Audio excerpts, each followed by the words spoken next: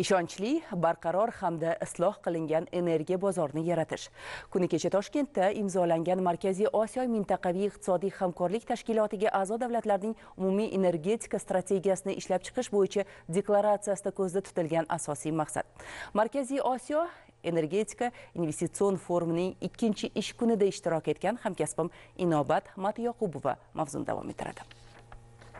Mamlakatimizda moliyaviy shuningdek ekologik jihatdan toza barqaror energiya sanoatini rivojlantirishda xorijiy investorlarning o'rni muhim. Mazkur forum energetika sohasida faoliyat yuritayotgan dunyoning yirik kompaniya va xususiy korxonalari vakillarini mavjud imkoniyatlar bilan tanishtirish uchun o'ziga xos platforma bo'ldi. Saudiya arabiston yirik kompaniyalardan biri akva kompaniyasi bilan biz shamol generatsiyasi gaz asosida elektr energiya ishlab chiqarishda zamonaviy Э, stansiya qurish bo'yicha kelishuvlarni imzoladik. Birinchi maqsadimiz bu generatsiya. Ya'ni generatsiyani yetkazib berish ikkinchi bu taqsimlash e, elektr uzatish tarmoqlaridagi yo'qotishlarni kamaytirish. Bu ham asosiy maqsad. Va uchinchisi energiya samaradorlikni oshirish. Aytish lozimki bu sohada qiladigan bu yo'nalishda qiladigan ishlarimiz juda ko'p.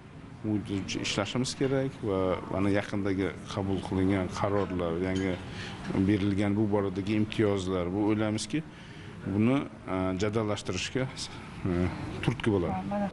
Yangi strategiyaga ko'ra tashkilotga a'zo davlatlar 2030 yilgacha 1 trillion aqsh dollari atrofidagi mablag'ni o'zlashtirishni ko'zda tutmoqda. Bu esa xususiy sektorga investitsiyalar jalb etish vazifasini yanada kuchaytirishni taqozo etadi. Bu kabi forumlar orqali o'zbekiston butun dunyoga o'z salohiyatini namoyish etmoqda. Bu yerdagi jozibador muhit investorlar nigohini o'ziga tortadi. Misol uchun o'zim ham bu yerga uchinchi marotaba kelyapman. Hozircha mablag' kiritishni maqsad qildim. Undan avval esa faoliyat yuritishim uchun eng zarur jihat huquqiy asoslar bilan to'liq tanishib chiqishim kerak. Markaziy osiyo mintaqaviy iqtisodiy hamkorlik tashkilotiga a'zo davlatlarning deyarli ko'pchiligida energetika sohasida yechimini kutayotgan muammolar bor.